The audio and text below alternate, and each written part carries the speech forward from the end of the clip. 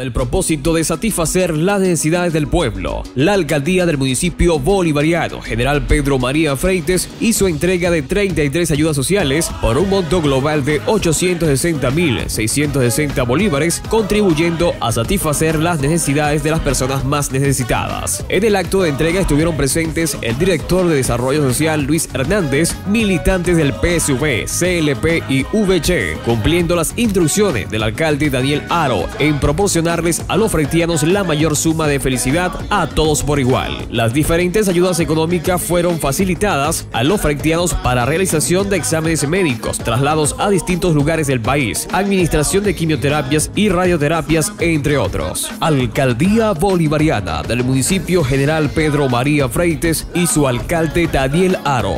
Revolución al servicio del pueblo.